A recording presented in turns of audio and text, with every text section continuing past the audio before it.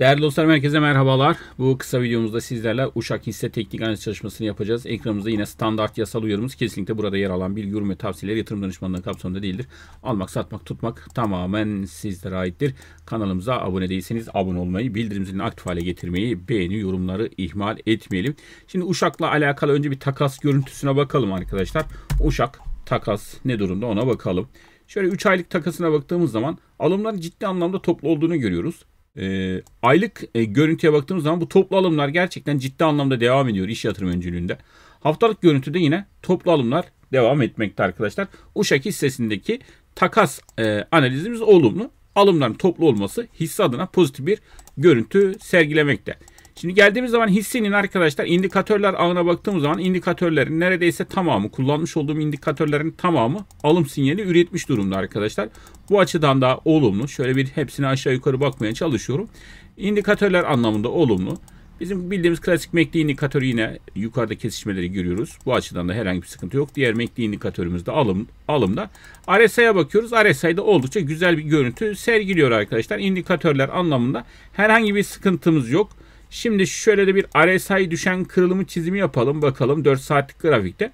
Ki burası da kırılırsa ortalama RSI 56 bantlarında yukarı yönlü güzel bir hareketin öncülüğü burada başlayabilir. Hisse şurada sıkışmış durumda arkadaşlar. Bu açıdan gerek e, takasın gerekse indikatörlerin olumlu olması hisseye bakış açımızı pozitif bir hale getirmiş durumda. Bir de burada bir ikili dip görüntüsü var arkadaşlar. İkili dip görüntüsü de oldukça net. Birinci dip ikinci dip görüyorsunuz. Net bir ikili dip var. Ve de sarı çizgimizin üzerinden arkadaşlar hareket ediyor. Buradan güç aldığını görmekteyiz. Formasyon oluşumu nedir burada? Sadece arkadaşlar formasyon anlamda, oluşum anlamda bir ikili dip görüntüsünü hedefleyecek olursak bunun hedefi klonladığımız zaman şu şekilde arkadaşlar teknik anlamda hemen şurayı alalım. Fiyat etiketlerimizi yapıştıralım. Direnç noktamız 3.90 arkadaşlar. Yukarıda 4.37 aşağıda destek 3.44 şeklinde takip edilebilir. Bir diğer nokta e, en sevdiğim hususlardan bir tanesidir arkadaşlar bu. Hemen bunu günlük grafiğe alayım. O şekilde bakayım biraz daha ekranı dar tutalım. Şimdi değerli dostlar bakınız. Geçmişte diyoruz her zaman ve her zaman geçmişte çalışan destekler, dirençler diyoruz. Bu anlamda baktığımız zaman da yine arkadaşlar bakın şuradaki hemen şöyle alalım burayı.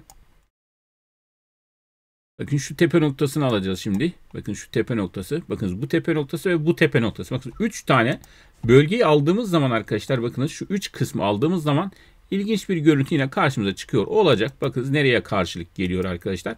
Bu bölge bakınız şu şekilde bir görüntü bizlere veriyor. Yani bize diyor ki kardeşim diyor sen burada her halükarda bakın o 3.90'ın üzerine atarsan hem burada ikili dip yapmış olursun hem de geçmişte öyle bir bölge var ki öyle bir bölge var ki bakınız bir arkadaşlar bunu siyah yapalım hemen. Bakınız bir direnç. Daha sonra burası aynı çizgi destek vazifesi görüyor. Aynı çizgi yine direnç vazifesi görüyor arkadaşlar. Bakınız burada yine direnç vazifesi görmüş. Bize diyor ki arkadaşlar bu majör hat 3.90 kırılırsa sen güçlü bir destek edilmiş olacaksın. Yani 3.90 üzerine attığı zaman artık bu senin desteğin olacak. Yukarı doğru gitme potansiyeli bakın şuradaki 4.50'ler arkadaşlar. Hatta daha yukarıdaki 4.80'leri rahatlıkla alma imkanını sana verecektir. Yani bu yolculuğunu 4.50-4.80 bandına giderken sen arkayı güvende tutacaksın. Telaşa endişeye gerek kalmayacak diyor. 3.90'ın üzerinde varsın altında istirahat edebilirsin diyor. Ee, burada muhtemelen bu bandın üzerine atıp buradan güçlü bir hareket gelme olasılığı yüksek diyebiliriz arkadaşlar. Ee, ortalama 3.43, 3.44 seviyeleri kritik rakam budur arkadaşlar. Bu değerin altında bir kapanış gelmediği müddetçe bakınız bu değerin 3.44'ün altında bir kapanış gelmediği müddetçe yönümüz 3.90, 3.47, 4.50, 4.80 bantlarıdır arkadaşlar. Ha ne oldu? 3.47'ler kırıldı diyelim aşağı doğru. Sert bir kırılım geldi. Solu 2.70'lerde alabiliriz arkadaşlar. Onu da ifade etmiş olalım. Evet yatırım tavsiyesi değildir. Alırsınız, satarsınız, tutarsınız. Tamamen size kalmış bir durum arkadaşlar. Ya ben görmüş olduğum tabloyu sizlere özetlemiş oldum. Ee, şu anki tablomuz bu şekilde arkadaşlar. Oldukça pozitif. Gerek hacimsel gerekse teknik açıdan oldukça pozitif bir görüntü hakim durumda diyoruz. Görüşmek dileğiyle kendinize iyi bakın. Katıl üyeliklerimiz aktif. Katıla bekliyoruz.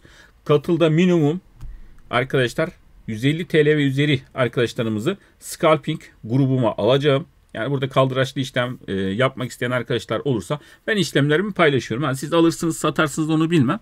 Ya bakarsınız süzgeçinizden geçirirsiniz. Yani işinize yarayabileceğini düşünüyorum. Ee, yine orada eğitim çalışmalarını sizlere paylaşmış olurum arkadaşlar. Onu da ifade etmiş olayım. Görüşmek dileğiyle kendinize iyi bakın. Hoşçakalın, sağlıcakla kalın. Yine kripto para işlemlerinizi yapabileceğiniz Binance referans kimliğimi videonun altına bırakıyorum. Kaydolmayan arkadaşlarımız %10 komisyon indirimiyle kayıtlarını yapabilirler. Gerçekten e, 2024 yılı e, yani 2023 hatta büyük e, yükselişlere şahit olacağımız yıllar olarak ben bekliyorum. Yani bu yıllarda arkadaşlar ne topladınız onlar sizin yanınızda kalacak. Yani 2023'te aldığınız 2023'ün ilk 6 ayında topladıklarınız sizin ileride gerçekten e, yani finansal özgürlüğünüz anlamında da size katkı sunacağını düşünüyorum. Bir fırsattır buralar değerlendirmek isteyene. Ha ben şunu her zaman söyledim. Yani şöyle Bitcoin bir 9 bin 10 bin lira düşse de yani e, Robert Kiyosaki'nin dediği gibi böyle kamyon kamyon e, Bitcoin alsak muhabbeti var ya Robert Kiyosaki'nin öyle diyor. Yani 9 bin 10 bin dolara düşecek diyor. O zaman kamyonumu Bitcoin'le dolduracağım diyordu. Tabii o zaman Bitcoin bunu konuşurken adam e, Bitcoin'ler 50 binlerdeydi arkadaşlar. E, gerçekten zengin baba fakir baba e, yazarı Robert Kiyosaki aslında güzel bir e, tahminde de bulunmuş oldu. Yani her ne kadar 10 binini görmesek de o seviyelere kadar yaklaştık. E, değerli dostlar kendinize iyi bakın. Görüşmek dileğiyle. Hoşçakalın. Sağlıcakla kalın. Uşak seramikle alakalı duygu düşüncelerinizi de fikirlerinizi de videonun altına yazarsanız memnun olurum. Yani nasıl bir gidişat olabilir sizce? Tahminlerinizi, e, beklentilerinizi yazarak arkadaşlar e, yorum kısmını es geçmeyelim. Hoşçakalın.